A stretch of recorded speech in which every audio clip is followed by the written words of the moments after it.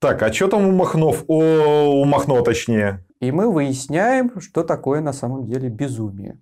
Он дудит в огромную африканскую трубу. Сивилла предсказательница предсказывает будущее России. Тени не хочу, за смеси не могу, значит, кровище и пух. Что еще нужно детям? Но это другое.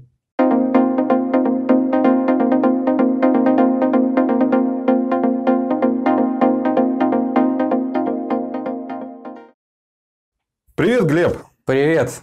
Я смотрю, ты сегодня во всей красе и во все оружие, так сказать. Командовать парадом буду я. А о чем, собственно говоря, речь? К сожалению, об Остапе Бендере, но не том Бендере, к которому мы все привыкли. А мы будем говорить сегодня о продолжении эпопеи режиссера Зайцева, о втором фильме, посвященном Остапу Бендеру, который вовсе не Остап Бендер. Он называется «Золото империи». И сегодня мы будем его обозревать по многочисленным, к сожалению, запросам наших зрителей. Да, к сожалению, наши зрители, да, а может быть и к радости, они прямо настаивали на том, что надо сходить, Глеб. Надо. Ну, раз надо, так надо. Но могу сказать, что в этот раз я попал на вечерний сеанс, и в этот раз я сидел опять один в зале. Как так-то? А вот так не, не, не ходит народ на этот фильм. И слава богу. Может быть, мы сейчас расскажем про второй фильм, и на второй и третий тоже народ не пойдет. Ну, про третий фильм подумаем, стоит ли или нет. Но судя по тому конспекту, который ты мне прислал, мне уже жутко страшно.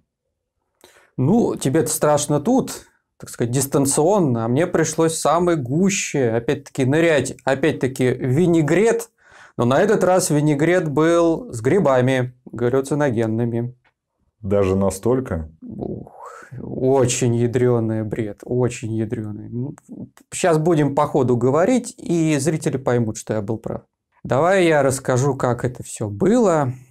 И, ну, наверное, для некоторых, тех, кто любит играть в компьютерные игры, должно по ходу моего рассказа сцена возникать из популярной игрушки Far Cry 3, где один из персонажей говорит – знаешь, что такое безумие?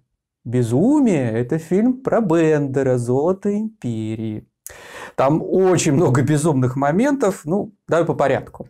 Итак, начинается фильм. Помнишь, когда мы про первый фильм говорили, а, мы выяснили, что красные в представлении киношников – это очень тормознутая сила. Ну, там не только красные были, но и белые тоже тормознутые. Ну, красные особенно, потому что они в 2019 году вешают, то, а, точнее, только меняют лозунг «Все на борьбу с Корниловым», заменяют его на Колчака. В этот раз они какие-то еще более странные люди, потому что лозунг на каком-то московском здании висит «Все на борьбу с Корниловым и Колчаком». Ну, Корнилов воскрес. Мы, кстати, помнишь, говорили про белогвардейскую э, зомби-историю. Угу. Ты не хочешь служить Корнилову? Бац! Теперь ты будешь ему служить. Корнилов-то тогда уже как полтора года был в могиле. Но тут-то, наверное, красные просекли про зомби-технологию белогвардейцев. Поэтому лозунг э, значит, «Все на борьбу с Корниловым и Колчаком» летом 1919 года. Ну, зря ты тогда их тормозами называешь. Они, наоборот, все прекрасно понимали. Да. Кстати, все понимает прекрасный Троцкий, который очень, э, скажем так, лебезит и оправдывается перед Хаммером. Э, жезл-то Румянцева-Задунаевского потерян. И Хаммер, находясь где-то за пределами России, по междугородному, даже международному телефону, ну, а, конечно, в царской России а, в 1899 году был первый междугородний разговор. Но представить, что в 1919 году в советской России проведен секретный телефон куда-то в Америку или в Азию, потому что Хаммеры ублажают какие-то восточные проститутки. А, странно. Ну, это все возможно, это же большевики. Погоди, Глеб, то есть получается у нас страна в огненном кольце, и в это время большевики чудесным образом сумели создать межконтинентальную связь телефонную. Да, первый в истории межпланетный шахматный турнир между Троцким и Хаммером. Кстати, что самое интересное, Хаммер хамит Троцкому, говорят, что вы потеряли жезл, сделка аннулирована. Вспоминаем исторического Хаммера, во-первых, он гораздо позже связался с советской властью, во-вторых, если бы он так хамил Троцкому и срывал поставки э, оружия да, в воюющую страну в 20-е, 30-е и позже годы, никаких бы ему торговых э, поручений советская власть бы просто не давала. Ну, зачем такие мелочи? В общем, Хаммер говорит Троцкому, что никакого тебе оружия не будет, и жезл я найду сам. И для этого он нанимает какую-то мега-супер-пупер бандитку. Непонятно, откуда она взялась, непонятно как. Я, может быть, пропустил, я имя ее не услышал. Но потом выясняется, что эта бандитка связана, угадайте, с кем? Внезапно с Бендером? Именно. То есть все вокруг Бендера. Папы. Я напоминаю, что там все про папу, а не про сына. В общем, Хаммер швыряет трубку, и Троцкий говорит, так расстроенно, что судьба революции вся крутится вокруг жезла. И вокруг жезла сценариста, по-моему, крутится весь сценарий. Да, кстати, про жезл я пошутил, может быть, смешнее, чем э, потом пошутили сценаристы. Сейчас мы к этому доберемся. А, нам, кстати, еще дают небольшую ретроспективу, буквально там минута она длится. А, прошлый фильм закончился тем, что Ося и его папа Бендер хватают ящик, думая, что там жезл, а жезла там не оказывается. И там показывают сцену, что Ося открывает эту значит, шкатулку, а Бендер на него замахивается камнем, хочет его то ли убить, то ли оглушить. То есть Продолжение следует. И продолжение происходит. Кадр меняется. На берегу некий комиссар бреет голову и получает задание от Троцкого найти жезл. Он отправляется, очевидно, в Москву и находит того самого курьера, которого убили в первом фильме. Помнишь, я рассказывал, когда Жезл с курьером отправлялся куда-то в Южноморск, на него, на этот поезд напали махновцы, и этого несчастного курьера просто изрешетили пулями. Да, да, помню. Только вопрос, а что это за комиссар? Сейчас мы к этому подойдем. Давай про курьера вначале. Так вот, курьера, которого просто изрешетили пулями, у него одно пулевое ранение оказалось в руку, все остальное зажило. Ну, по виду это скорее евреи. Мы знаем, на евреях все заживает, очевидно, в представлении сценаристов. Возможно. В общем, к нему приходит этот самый комиссар с бритой головой, хватает его и на высказывание медсестры, что он еще слаб, он зловеще говорит, заикаясь, его залечат в Кремлевской больнице. Он, кстати, заикается, как и полагается командиру. В общем, этого несчастного курьера э, сажают на кресло, каталку и куда-то везут. И тут появляется медсестра, которая внезапно выхватывает два маузера. Знаете, это отсылка, по-моему, «Убить Билла» с этой медсестрой, которая шла убивать главную героиню. Возможно. В общем, она выхватывает два маузера и по-македонски начинает отстреливать чекистов одного за другим. Комиссар который заикается, выхватывает наган, начинает стрелять в нее, но стреляет он в нее с таким видом, что он ее очень хочет, он чуть ли не облизывается. И в итоге остаются три живых человека в коридоре. Этот комиссар, бандитка в костюме медсестры и несчастный курьер. Погоди, а у медсестры случаем глаз не был там повязкой перекрыт? Не был. Надо было повязку серпом и молотом. Но сценаристы все-таки, им еще предстоит отточить свое мастерство в третьем и четвертом фильме. Но мы, как обычно, подсказываем им. Возможно, возможно. То есть мы, мы не свидетели, мы соучастники. Возможно. Так вот, э, значит, остается медсестра, остается этот комиссар, заикающийся, который говорит, не хочу вас убивать, на что он говорит, не, не бойся, я тебя убью. А потом выясняется, что комиссар знал Бендера, и Бендер его в 1905 году кинул во время грабежа какого-то банка. И он соблазнил молодую эту самую бандитку и тоже ее кинул. И они желают объединиться против Бендера. А так как этой бандитке Хаммер, давайте так логику устраивать, дал задание найти жезл, она спрашивает комиссара, где жезл? И комиссар говорит, мой. Да, ну смешно, смешно. И когда они решают объединиться, а, комиссар что-то там говорит, что я сейчас брошу значит, свою советскую власть и буду помогать тебе а, искать этот жезл, она говорит, уже лучше Котовский. Это же настоящий герой. Нельзя его в этот фильм. Как они могли? Легко. Какой ты, кошмар. Ты, ты... Я не хочу это надо, писать. Надо, Я надо. не хочу. А, Кстати, по поводу бандитки, совсем забыл. Она нанята Хаммером, поскольку она какой-то супер-пупер профессионал, какой-то хитмен и э, Бильбо Биггинс в одном флаконе. То есть она может найти этот жезл. И кадры, вот как она едет в Москву, очевидно, она едет с каким-то молодым э, красноармейцем в купе.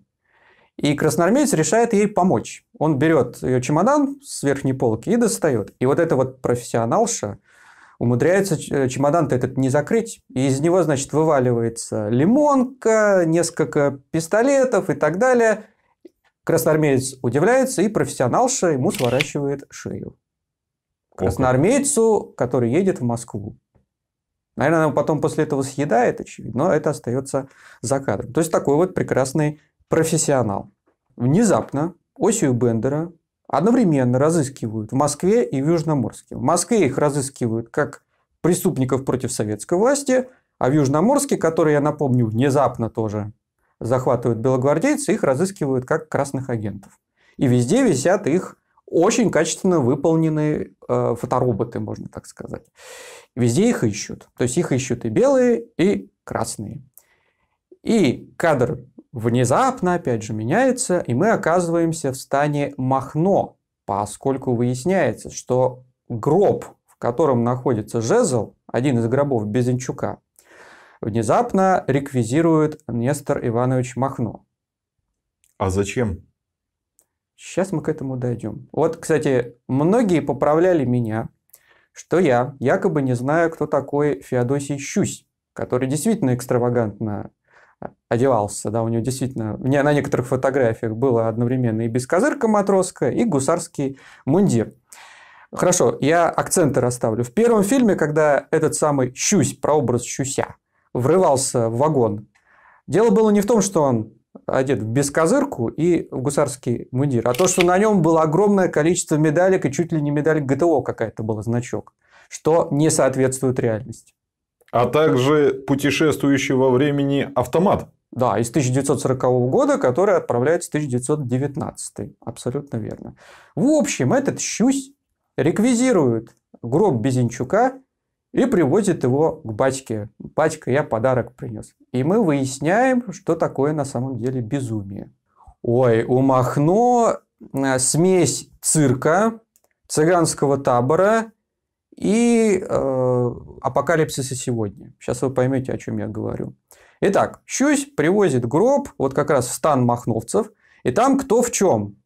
Ну, конечно, образ махновской армии мы знаем в советских фильмах демонстрировался как вот такой вот сброд. Мы когда говорили о фильме «Неуловимые мстители», мы как раз показали, что это такой вот культурный как бы пласт, что вот красноармейцы, они все в форме, они дисциплинированные, а вот махновцы, они все кто в чем, не дисциплинированы и так далее. На самом деле у Махно дисциплины и формы было не хуже и не лучше, чем в других э, контингентах белых, красных того конфликта.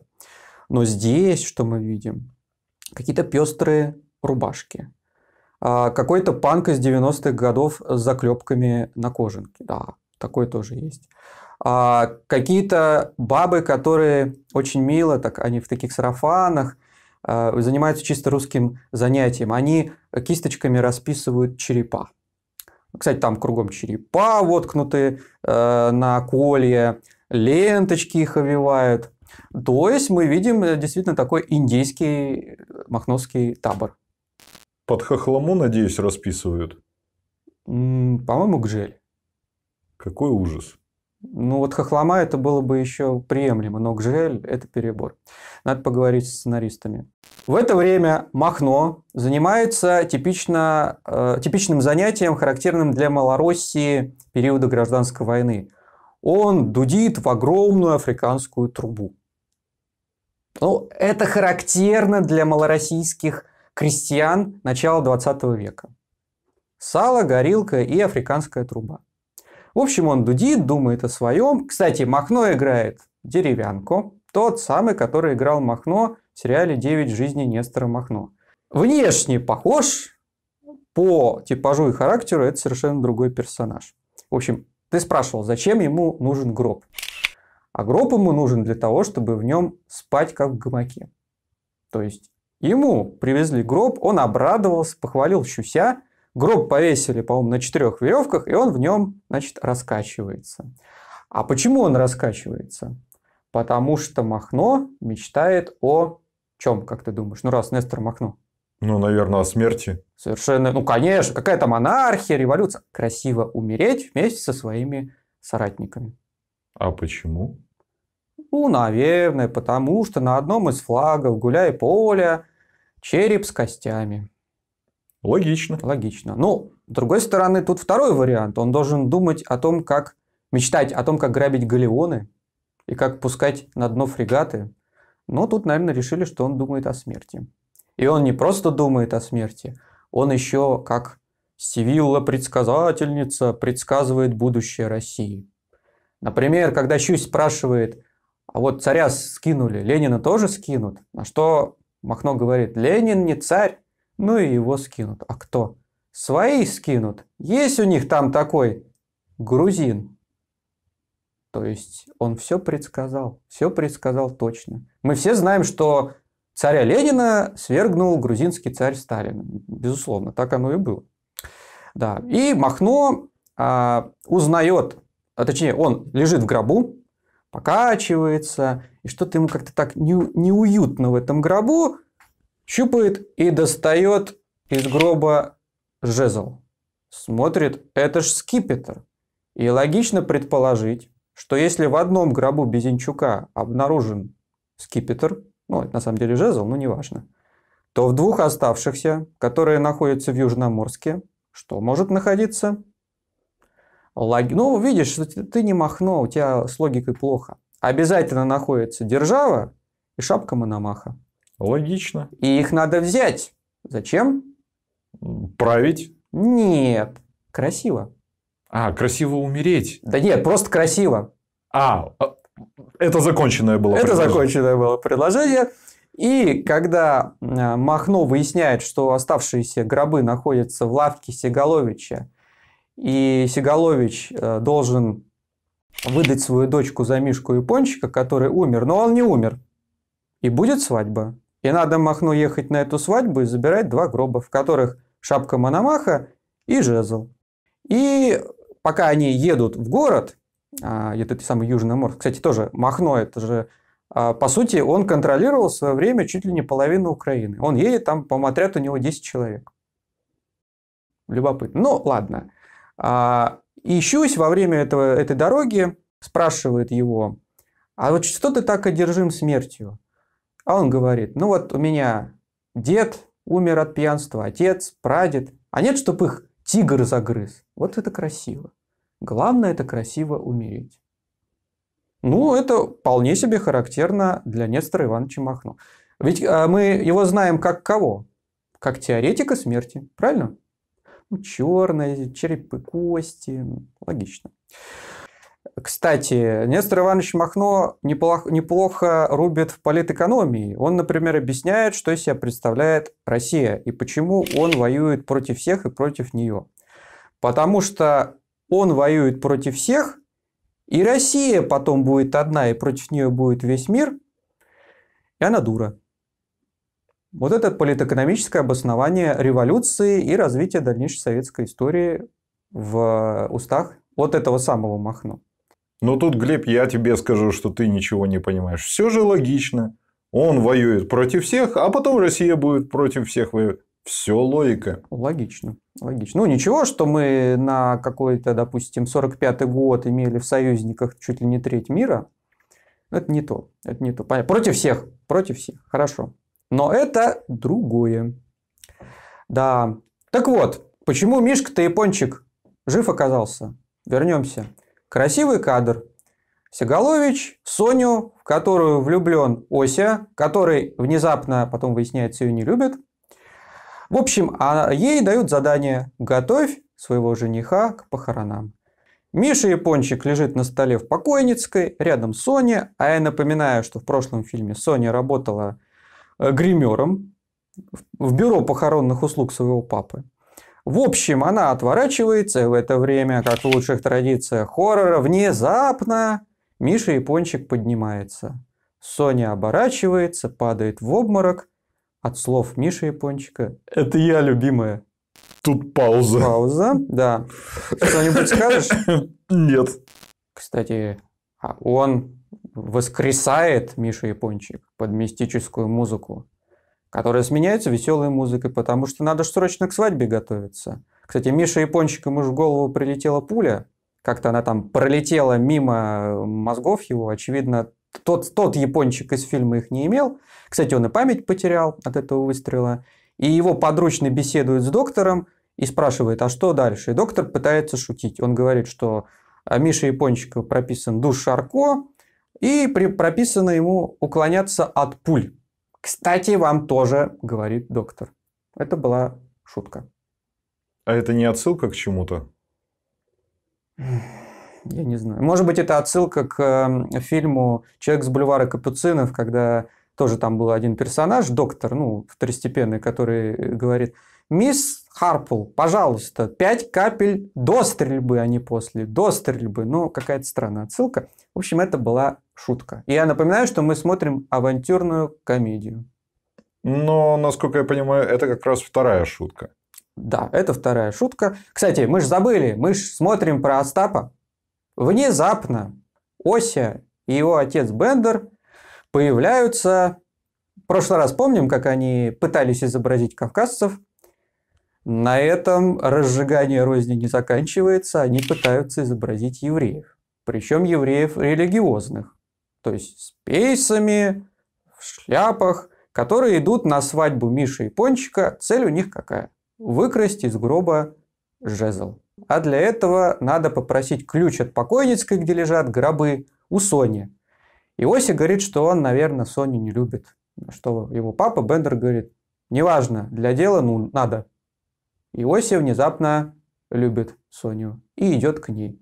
А Соня в это время готовится выйти замуж за ненавистного ей, совершенно мерзкого Мишку Япончика, который очень, кстати, хорошо актер играет. Он играет такого э, сального, жестокого, такого мерзенького гангстера с украинским колоритом, но это не Миша Япончик, конечно. Совершенно. Мы в первом видео говорили, кто такой был Миша Винницкий, Михаил Винницкий, и почему эту фигуру нельзя вот так снимать. Это очень сложная, противоречивая и интересная фигура. И делать из него дурачка, ну, снимайте просто про какого-то гангстера. Нет, надо лезть обязательно в исторические персоны. Ну, ладно, а к этому мы еще вернемся. А, еще одна шутка. А, Ося говорит, что я Остап, вы не Остап, вы Остаоп. Кто-кто? Остаоп. Э, то есть не Остолоп, а Остооп? Да, это был каламбур. Смешно? Очень. Безумно. Я тоже э, чуть, э, чуть не упал с кресла. А, ну, благо я сидел один в зале, никого не задел. Так вот, Миша хочет Соню. Соня хочет Осю и не хочет Мишу. Родители Сони хотят заполучить Мишу как крышу. И вот в такой сложном многоугольнике происходит следующая сцена. Родители упрашивают Соню, чтобы она согласилась выйти за Мишу. А Миша говорит, что пока он Соню не получит, он со двора не уйдет. И так как к свадьбе готово все, стоят столы, пришли гости, начинается пьянство. И Ося по подсказке Бендера а, пытается найти ключ. А ключ-то оказывается не у Сони, а у матери ее, которая перебрала со спиртным и валяется в какой-то комнате. В общем, Бендер дает задание. Ты должен признаться в любви маме, чтобы забрать у нее ключ. А это точно отсылка к фильму? Любому порнографическому фильму. Ося начинает значит, целовать ее с тем, чтобы а, значит, всосать в себя ключ на цепочке, который у нее. Это отсылка к тому самому авантюристу Савину, который, помнишь, я рассказывал в прошлом фильме, у дам до революции э, из перстней вот так вот во время поцелуя выхватывал а, бриллианты. Что-то мне подсказывает, они смотрели наш прошлый обзор. Возможно, не знаю. В общем, он целует ее, в поцелуе захватывает этот ключ, она просыпается, он говорит, я вас люблю, начинается какое-то там шоу, и в это время... А, а, еще мать говорит, нет, я не могу с вами. Нет, могу. Нет, не могу. Нет, могу. И вот, вот это тени не хочу, за смеси не могу. Значит, заходит во время этого Соня. Возникает скандал.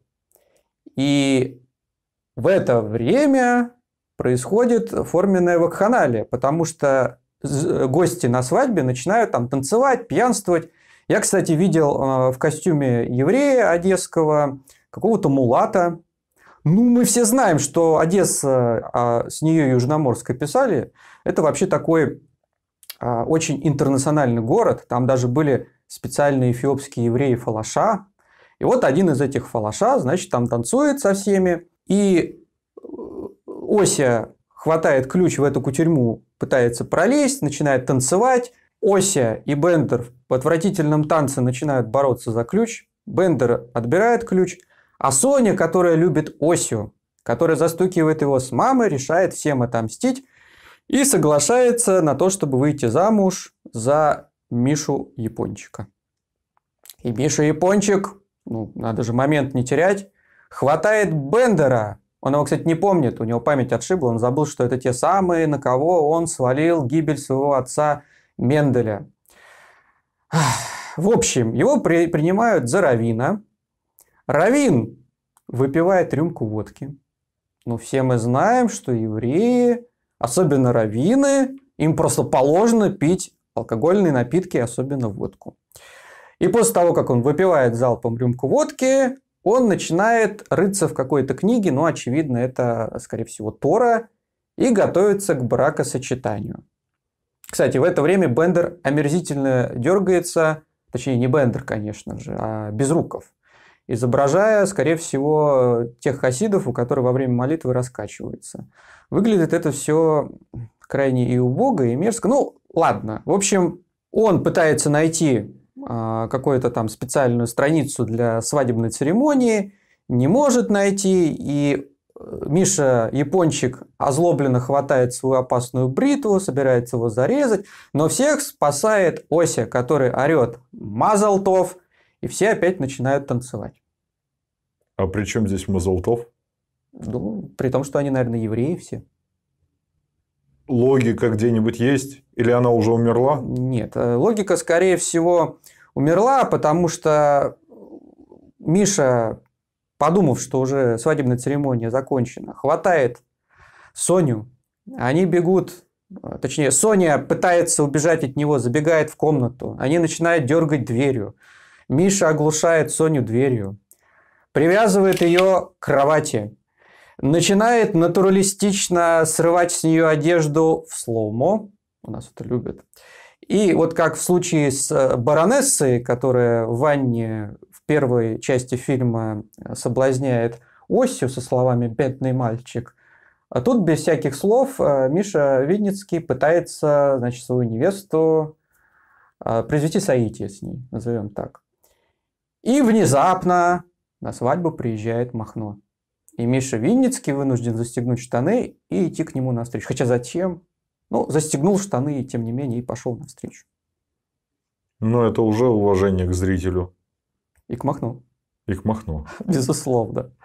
А, Махно поздравляет Мишу. Кстати, как они друг друга знают. Ну, ладно, хорошо. А, отзывает Соголовича в сторону и говорит, слушай, я тут у тебя жезл нашел в гробу. У тебя еще гробы остались? Показывай. Миша замечает какие-то переговоры. А, а, кстати, я забыл сказать. Перед тем, как прийти на свадьбу, а, махновцы сдают все свое оружие.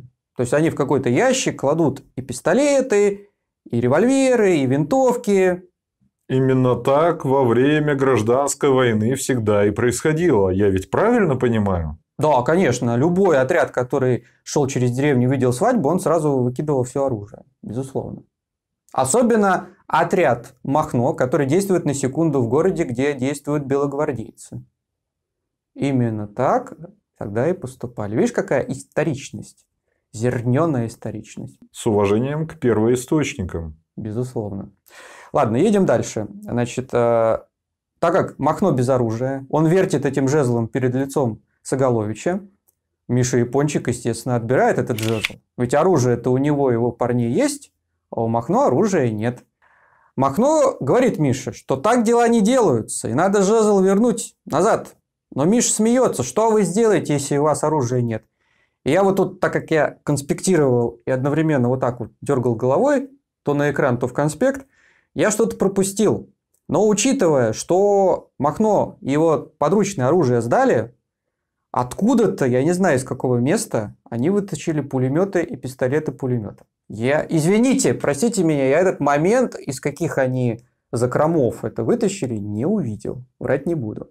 Но они выхватывают пулеметы, пистолеты и просто-напросто кладут всю свадьбу. То есть они кладут Мишу Япончика, его подручных, гостей, а папу и маму Сони они кладут. Чудом не погибает а, Ося с Бендером. Жезл, Мишу Япончика убивают, жезл падает – Ося бежит к этому жезлу, хватает его, он пытается его взять, но Махно в стиле «Властелина колец» красиво наступает ему сапогом на руку, выхватывает жезл и медленно бьет его по лицу и оглушает. Кинематографично. А, и в это время лежат трупы, трупы, трупы, кровища. Очевидно, там было задето несколько перин или подушек – падает пух. И это, наверное, отсылка тоже к «Убить Билла» первой части, когда после кровавой схватки кровище кругом, кровище и пух. Что еще нужно детям? 16 плюс. Да, так вот, пух, как снег, падает на окровавленные тела. И Махно забирает жезл и уезжает к себе. Занавес. Нет, еще не занавес, все только начинается. Что-то мало Оси и Бендера. Начинается какой-то опять странный спор, когда Бендер пытается Осию отослать к маме в Констанцу, говоря о том, что ты живешь в мире розовых очков. Погоди секундочку, а они разве в курсе, куда уехала мама? Она же об этом не говорила. Нет, мама-то хотела вообще в Париж, но все знали, это, очевидно, прошло не так много времени. Все знают, что мама вот пока что в Констанце находится. То есть, какой-то перевалочный пункт. Но дело не в этом. Мы же по первому фильму видели, что Оси – это достаточно прожженный авантюрист и, в принципе, достаточно большой подонок. Он сколько там афер проводил, он как обманывал людей, как вот он одну любит, ну, прожженный тип. А Бендер ему говорит, что он живет в мире с розовыми очками и якобы верит всем. К чему это, зачем это, непонятно. В общем, Бендер пытается избавиться от Оси, но Ося говорит, нет, мы должны ехать к Махно. А Бендер говорит, ну ты видел, что там это вообще-то Махно, это просто убийца какой-то отмороженный. А, нет, надо ехать и брать жезл. А кстати, мамы больше нет. Мама появилась в Констанце. Она оказалась без средств к существованию, пытается устроиться какой-то служанкой, ей предлагают место в борделе. Ну, она отказывается, поскольку она благородная. И впоследствии, я немножко перескочу, она оказывается в тюрьме за то, что пытается украсть хлеб. И э, приходит в тюрьму э, содержательница борделя, это тоже какая-то линия на, на третью серию. И Э, значит, забирает из тюрьмы по соглашению с полицейскими румынскими а, девушек. И мама Оси говорит, «А возьмите меня. Он говорит, нет, э, я потом зайду. Тут по законам, где она их взяла, непонятно, ворам отрубают руки. И знаете, однорукие проститутки тоже в цене, я попозже, в общем, зайду. В Румынии тогда, конечно, никаких таких законов не действовало, поскольку Румыния – это не средневековая Турция. Ну ладно, вот еще э, такая, э, такой кадр, да, что вот надо маму спасать. И надо ехать к Махну, очевидно. Истинный трагизм ситуации показан. Ну, нет, вообще это ситуация трагическая, исполнение, по мне, так не очень трагическое. В общем, в это время Ося и Бендер идут по берегу моря в стан Махно. И внезапно На берегу их останавливает бандитка и Котовский. Тот самый заикающийся сперматоксикозный Котовский. И они берут Бендера... Вначале они берут Осю на мушку, то что там они как-то разделились. А говорят, где, где Бендер, говори. Он отказывается говорить, он просто не знает, где Бендер. И Бендер, чтобы спасти Осю, появляется откуда-то из-за кустов, как рояль выкатывается. В общем, я к вашим услугам, господа. Начинается перепалка в стиле бандитов, кто кого когда кинул, кто кого соблазнил и так далее. В общем, после этой перепалки выясняется следующее. У Котовского и бандитки есть автомобиль, у Оси и Бендера есть информация, где жезл, что он умахнул. Ну, это отсылка к золотому теленку. Бензин ваши, идеи наши. Ну, вот такое исполнение. А, кстати, Бендер, узнав о том, что Котовский и бандитка а, действуют вообще-то вместе, и они готовы в любой момент его убить и мечтают об этом, он выдает фразу, весьма характерную для гражданской войны. Такая идиома была. Ёперный театр. Оригинально. Оригинально, да. В общем, они садятся на автомобиль, едут в лагерь Махно. Но не доезжают, потому что глупый Котовский умудрился не дозаправить машину, и она останавливается прямо посреди дороги. То есть бензина они все-таки не предоставили. Не предоставили. И поэтому процентов у Оси и Бендера стало больше в последующем дележе добычи. Они, кстати, там постоянно эти проценты делят. Я не знаю, там, может быть, э, когда сценарист отвлекался, э, какой-нибудь казначей этой съемочной группы дописывал сценарий, потому что там постоянно 20%, 30%, ну, возможно. Котовский. Образ Котовского и Махно. Вот я знаю, что у тебя твоя прабабушка, да? Да, да, моя прабабушка служила в отряде вместе с Котовским. Ходила даже такая легенда, что Котовский пожелал ей шубу со своего плеча. Ну, естественно, там разговор был не об этом. Но для меня это настоящий герой. Это история, история моей семьи. Жаль, что ты фильм не, пош... не пошел смотреть. Так бы ты узнал, что Котовский был первый сперматоксикозник, Второе, заика. Ну, это характерно для таких деятелей, как Котовский. Команды давать заикам, все мы знаем, что командирами надо назначать заик, потому что их команды особо четко отдаются. Да?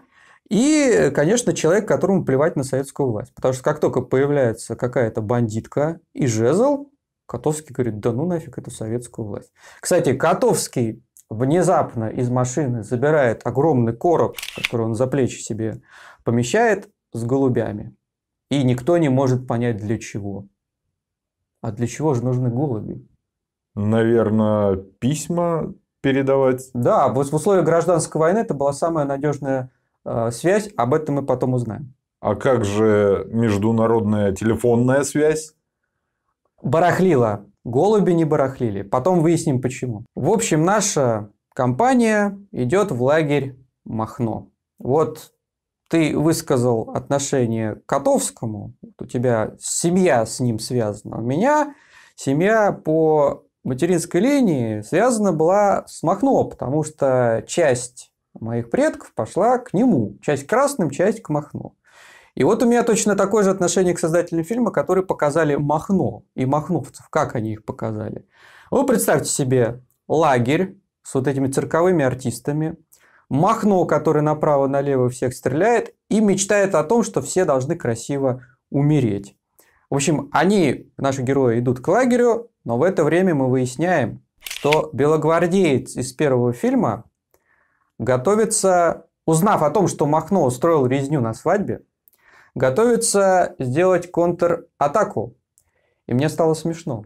Махно не могли лучшие белые генералы поймать и уничтожить. А тут какой-то просто комендант города Южноморск, у которого-то и сил нет, тем не менее он решает идти на Махно. И надо сказать, что этот генерал действует э, на самом деле очень, очень толково, а, потому что Махно представлен как военный стратег и тактик, как идиот, потому что лагерь он расположил в маленькой лощине, а вокруг высокие холмы которые прекрасно скрывают местность, то есть к нему легко подойти. По этому поводу мы поговорим. А, Махно говорит такую речь своим а, товарищам, что мы раскроем объятия небесному огню, мы идем к солнцу, к свету, и главное красиво умереть.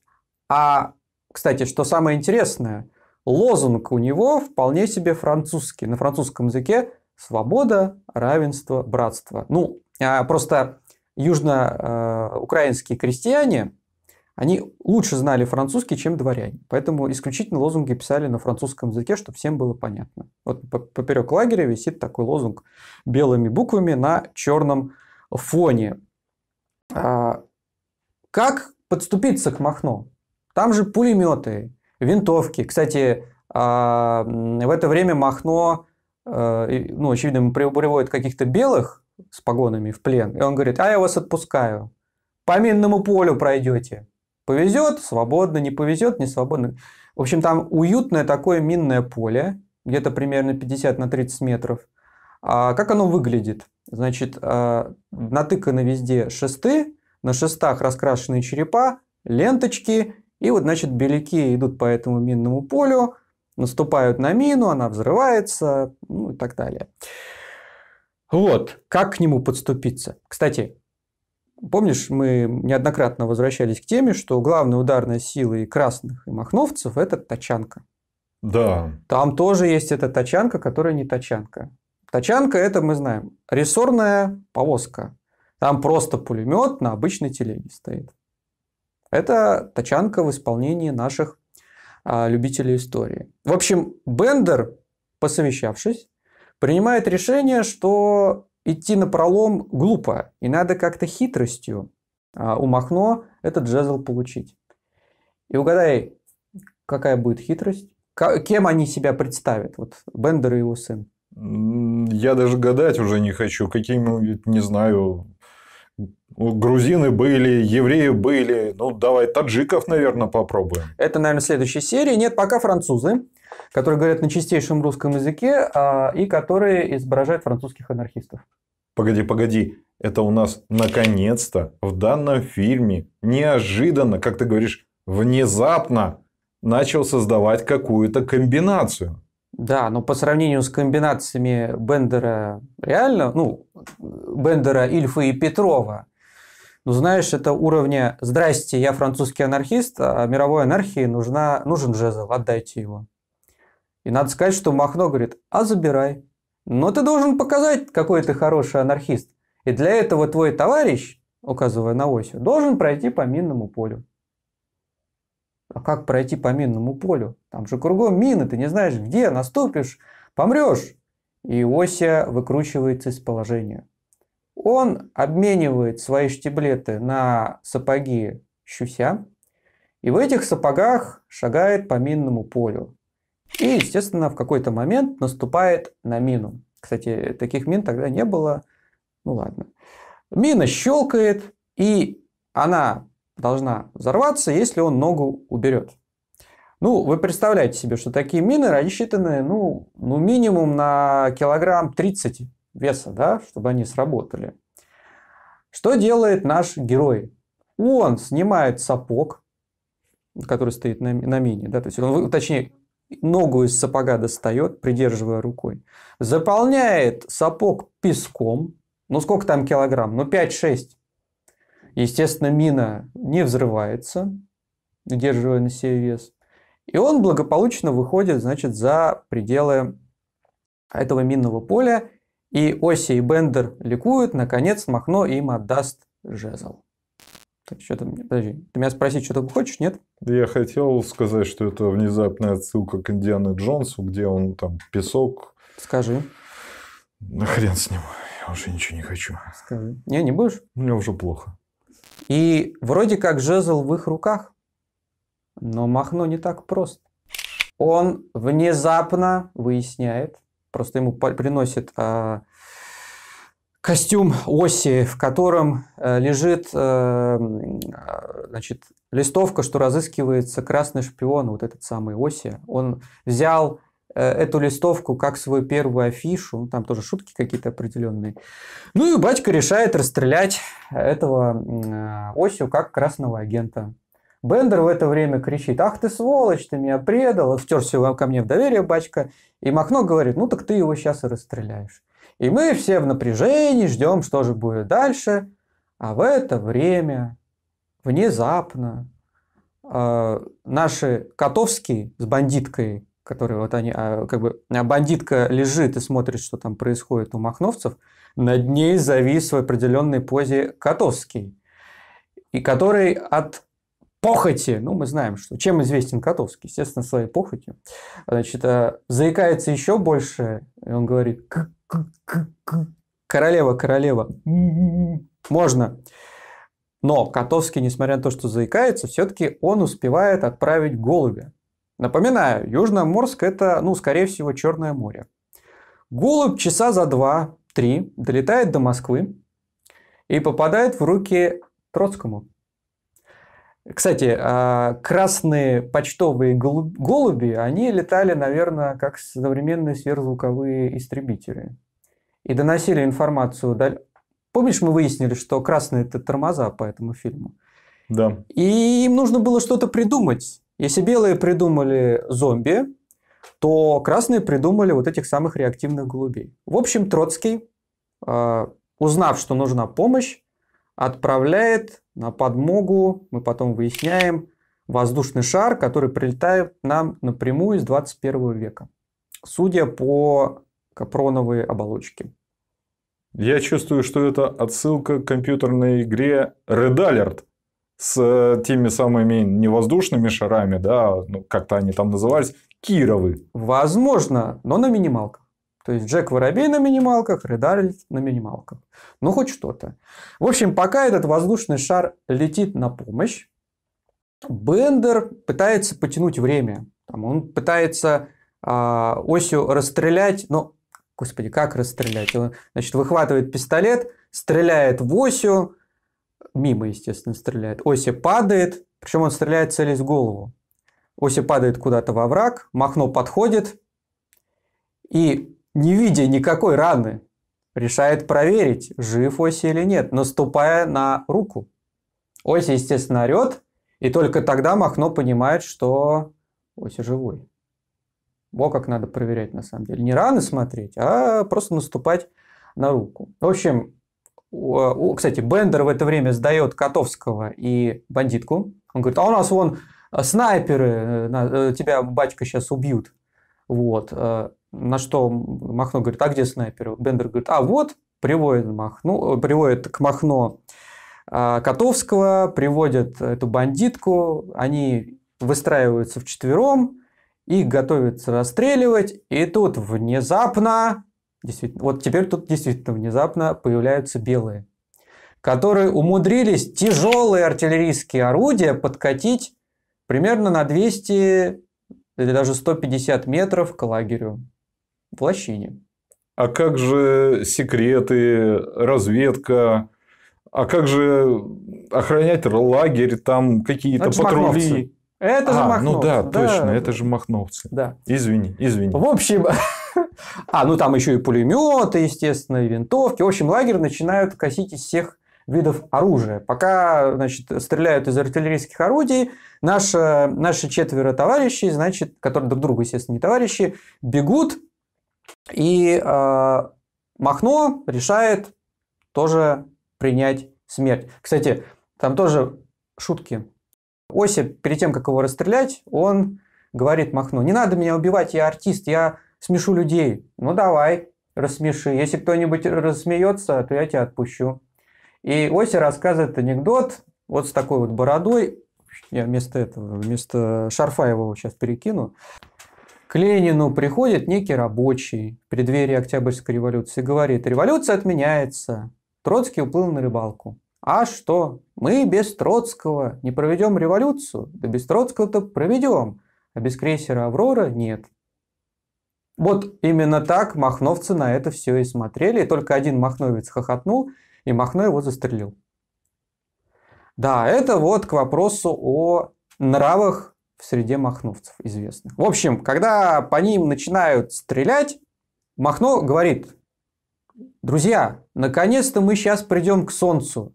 Наконец-то мы сейчас красиво встретим смерть. И его махновцы, как какие-то сектанты или как зомби, начинают вот так вот с поднятыми руками идти навстречу пулям, снарядам. И в это время внезапно Нестор Махно забирает всю свою, все свои сокровища в сундучок и сбегает. Ну, это и предполагалось. А это и предполагалось, да, конечно. А, кстати, э, там еще а, много таких шуток, ну, типа шуток, например, когда Махно кричит по поводу Котовского, а теперь лысый, я сказал лысый, ну как в свое время Глеб Жуглов кричал, а теперь горбатый, я сказал горбатый. Там таких много шуток. Но это все в такой каше, что вот, вот очень трудно это все зафиксировать, запомнить и так далее. Поэтому я вел очень подробный конспект, хоть это и трудом давалось. В общем, а, когда лагерь Махно расстреливают, в стиле фильма «Апокалипсис сегодня», я все думал, когда белый применит напалм, и белый офицер скажет «люблю запах горелых махновцев по утрам». Но нет, они так глубоко не копали, конечно. В общем, во время э, этого артналета Ося бежит за жезлом, хватает его, но тут из-за взрыва его оглушают, Бендер его вытаскивает из-под огня, и жезл хватает Котовский, и его новая любовь – это самая бандитка. И внезапно от Троцкого прилетает воздушный шар, который опускается в лощину прямо под выстрелы белогвардейцев. А кто этим шаром управляет? А, им управляет какой-то летчик в кожаном э, костюме, ну, как авиаторы тех лет, по-моему, даже шарфом. В общем, жезлом э, бандитка и Котовский садятся в этот э, в гондолу, взлетают, но, естественно, белые по ним начинают палить, превращают шар в решето, шар начинает медленно, но верно снижаться в море. И Котовский с бандиткой решают облегчить, э, собственно, груз, вес и начинают сбрасывать. Вначале они мешки с песком сбрасывают, потом, естественно, авиатор летит в море. Потом они начинают раздеваться и выбрасывать всю одежду. И под конец в море летит жезл из-за которого весь сыр-бор. И только тогда бандитка говорит, ну вот, мы не нашли сокровища. А Котовский говорит, нашел. И они скрываются в гондоле. То есть они там планируют заниматься сексом? Ну, очевидно, я не знаю. Это Котовский. Да, это Котовский. Ну, может быть, они этим займутся в третьем фильме. Возможно. А в это время Ося, который контуженный лежит, отмыкает глазки, видит, что его куда-то тащат, и видит того самого белого офицера. Вот, кстати, тоже актер хорошо играет такого белого, такого изящного. А, Ваш папенька погиб, а, не могу сказать, что я, а, что мне не жаль, но могу вас обрадовать, и вы скоро с ним встретитесь. Где? На небесах. Вот, вот Винницкий и актер, который играл Винницкого, и актер, который играет белогвардейцы. Неплохо играют. Но, с другой стороны, зачем тут э, так париться им? Ну, ладно, тем не менее. В общем, наконец, белогвардеец говорит Оси, мы вас расстреляем. Не благодарите. Я думал, он сейчас еще в реверансе будет, но этого не произошло. В общем, Осию ведут на расстрел и подпись. Конец. Конец! Но рядом еще не конец. Обрадовался? Рано, потому что нас ждет третий фильм, и там мелькают кадры из него. Где нас ждет?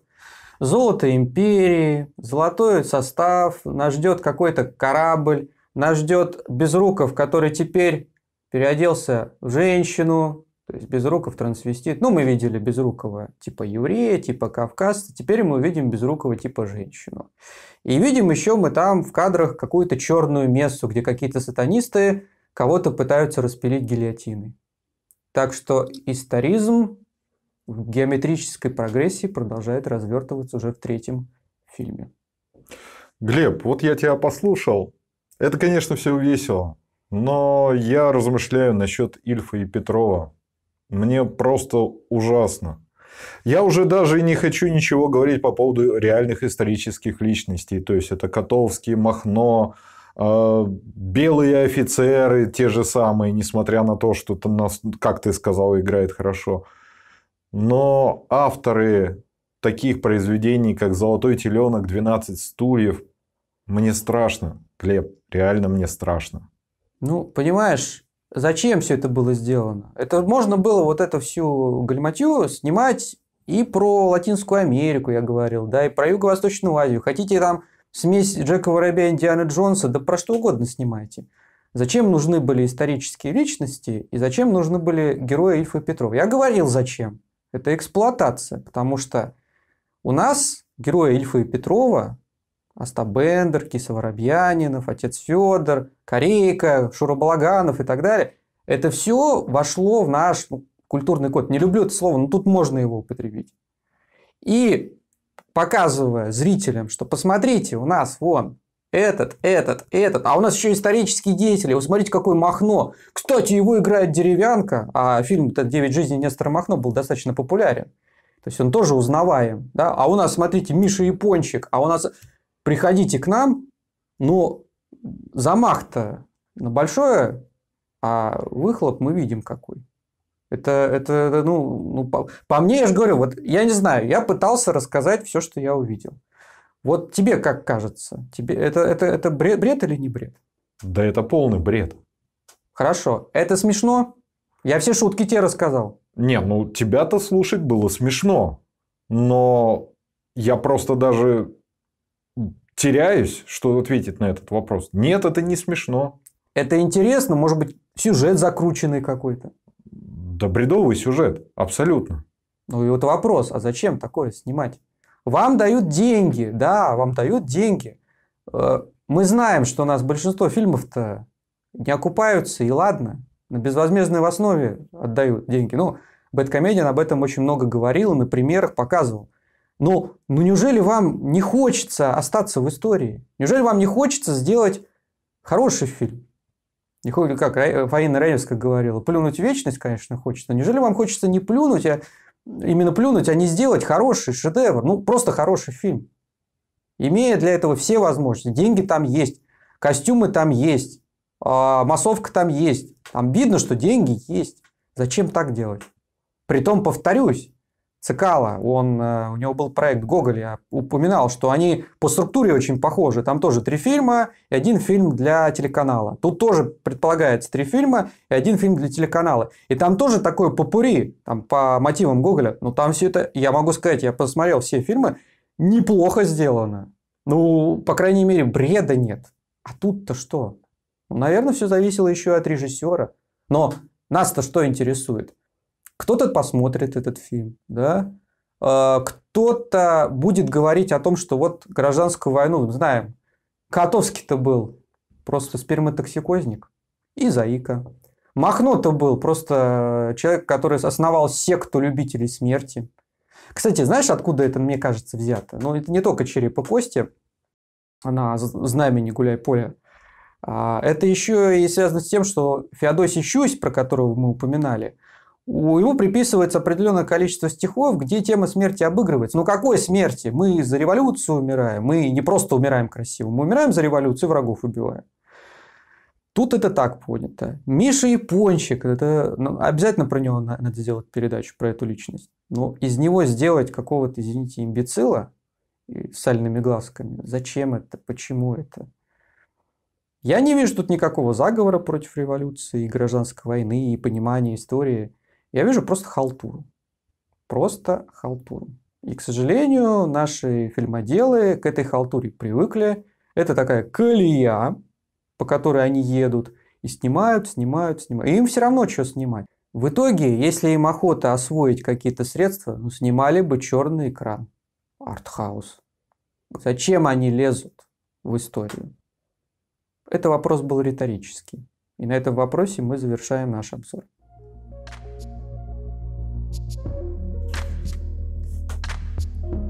А с этой заразой так не получится. Так, где мы? Мы встанем окно. Погоди, погоди. Подожди, не... подожди, давай, давай выдержим. В общем, он не умер. Этот мертвый Миша скоро женится. Стоп. Это сейчас был бардак. Так в том-то и дело. Давай я еще пару слов скажу про философию Нестора Ивановича Махно. Давай. Ты про реальную скажи. Ну, нет, давай вначале вот про фильм, а потом М. Какой кошмар. а. ты- ты- Я не хочу это Надо, писать. надо, Я надо. не хочу. Да ладно, давай вот реально вот так вот все получить э, Мишу в качестве зятья. Зя... Родители Зони... Зо- Давай, я скажу. А ведь я хотел вместе с ним пойти посмотреть. это. Да не, не надо таких жертв, не надо.